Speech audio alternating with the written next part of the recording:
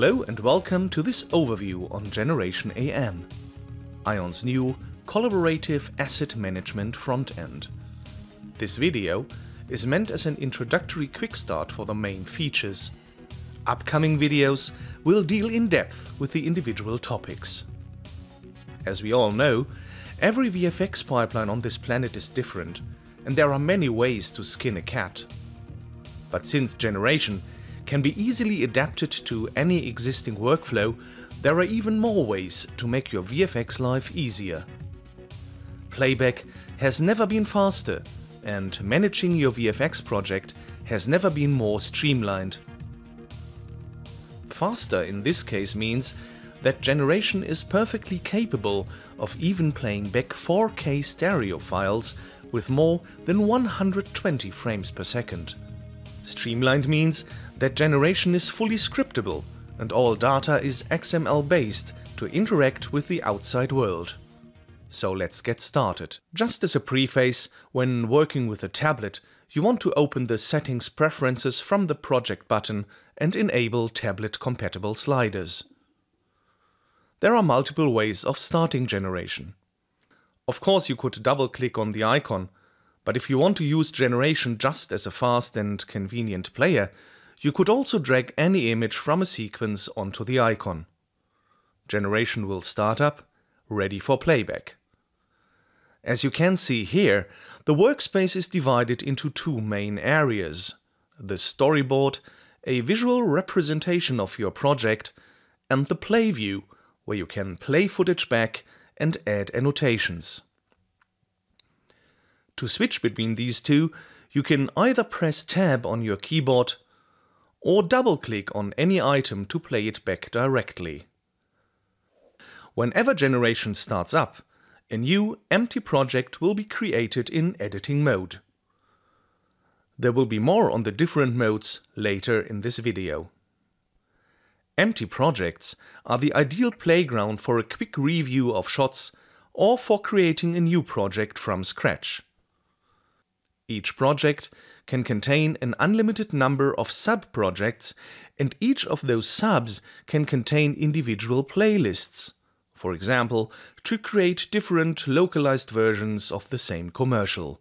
If you intend to use the project at a later stage, make sure to save it by selecting Save As from either the project menu or the project button.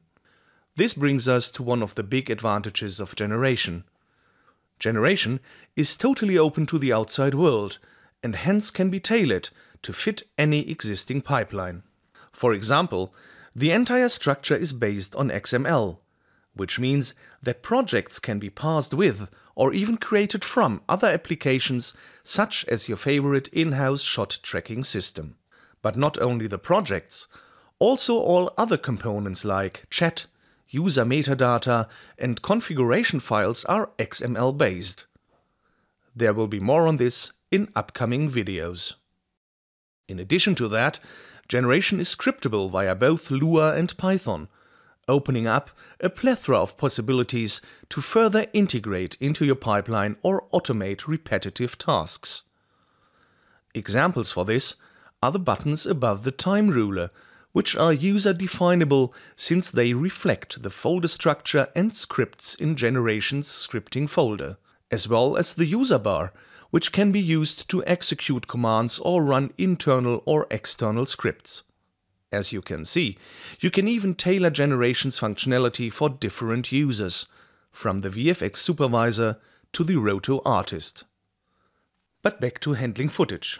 There are several ways of bringing footage into Generation you could use the Load Media function. Either right-click anywhere in an empty space of the storyboard and select Load Media, or use the Load Media button directly above the play controls. From the Explorer window, you can now select an image file, and Generation will parse the sequence and attach it to your mouse pointer as a thumbnail. Move the mouse to the desired location on the storyboard and left-click to drop the sequence or right-click to cancel the operation. You can achieve the same result by dragging files directly from the Explorer window. Either drag any image out of a sequence, or drag the entire folder onto the storyboard. You can even drag either multiple folders or a top folder which contains multiple subfolders to add footage to generation. Multiple sequences will be added as individual clips, ready for playback and review. If you need single images or still frames out of a sequence, hold down Ctrl while dragging the desired image onto the storyboard. Instead of using the sequence, Generation will now use just that one image with the default length of 50 frames. In the storyboard, you can also arrange multiple versions of each clip. Just drag and drop a new version on top of an existing one. To change the length of a clip, either use the time ruler or right-click on the numerical fields to bring up a calculator interface. With the calculator, you could either use your mouse or pen or the numerical pad on your keyboard to enter values. To change the order of clips, just click in the top area and drag the clip to a new position. The same counts for rearranging versions. Keep in mind that all these actions can only be taken when the project is in editing mode. In locked mode, everything but adding notes or paint annotations will be prohibited. Back to versions for a second. Versions could be literally different versions of the same footage or different items that make up a composition, like green screen material, background and CG renders. To make multiple items into a fusion composition, press B to box select them, then press Ctrl C, and in Fusion, press Ctrl V to paste them as individual loaders.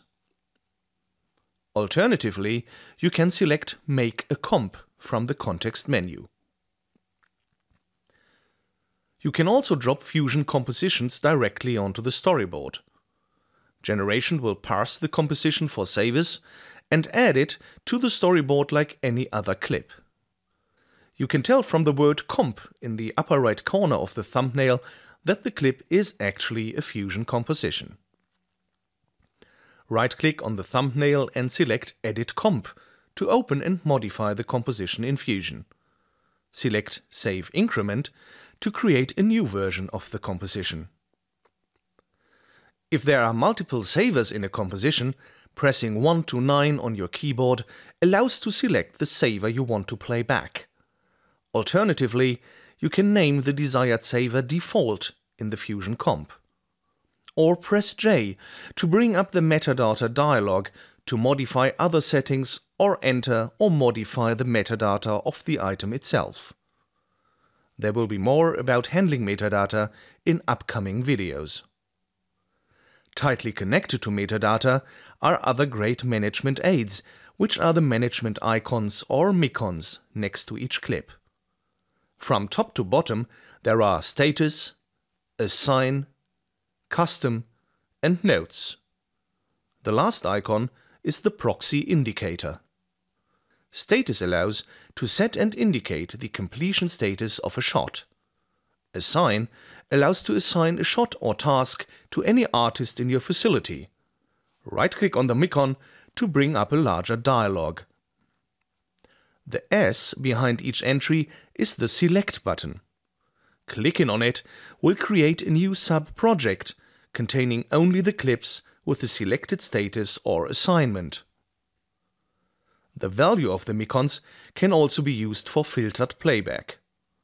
From the menu, you can select to, for example, only playback clips that are greenlit and have been worked on in this case by Eric. The content of the Micons, as well as the actions that should be taken when they are changed, can also be set in the appropriate sections of the preferences.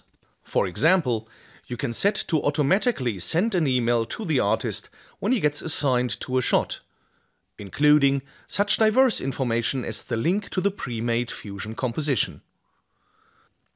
The Filter menu gives access to yet another level of filtering your clips. In this case, all the clip's metadata can be queried. The filter preferences allow to set up sophisticated filtering and change the color of the menu entry for fast visual reference. The custom icon gives a quick overview on selected metadata fields.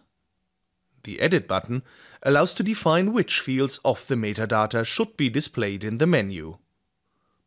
Notes show an overlay of existing notes for each item. Double-clicking opens the Notes editor, which basically is an integrated chat client. Each artist having access to the project can participate in the chat to quickly exchange ideas or jot down comments. Again, these notes are stored as individual XML files, which means that comments could be added using other programs as well. Another way to add comments to your media are paint annotations. In the Play view, select Paint from the context menu. Paint annotations can be made valid for just a single frame or for the entire clip. Following Generation's open project approach, the annotations are stored as simple TIFF files in dedicated folders. Again, this allows to add annotations from within other applications as well. While we are in the Play view, let's have a look at LUTs and guides as well. Generation can load a variety of LUT formats. Five LUTs can be preloaded into the LUT buttons, which provides a quick way to check your footage under different conditions. Next to the LUT buttons, you see the Screen Player Color Adjust. Right-click to open the controls and fine-tune the colors. Similar to the Clips Color Adjust, which is applied to individual clips, you can even load CDLs here. A bit further to the right you see the guide buttons. Guides are overlays that allow to judge things like safe frame violation or different cropping formats. Right-click on a button to load a guide and left-click on the button to switch any guide on or off. As you can see, multiple guides can be active at any time. And once again, even the guides are based on simple XML files. Feel free to create your own. The integrated proxy engine comes in handy to reduce network bottlenecking when your original files are sitting on a remote location. Either choose from one of the user-definable proxy resolutions or create a mirror of the original files on your local disk to speed up file access and playback. Next to the proxy menu, you'll find the notification menu. All changes made to status or assign are reflected here, and emails could be sent out in batch mode to the associated artists. At the end of the day, you want to render out your dailies. Press R to bring up the render dialog, which allows for a variety of different output formats and provides options to burn in timecode or annotations. This concludes the introductory video to Generation AM. Stay tuned for more in-depth tutorials here on our YouTube channel and check out our website for an evaluation copy. Generation AM. Just change the speed you work.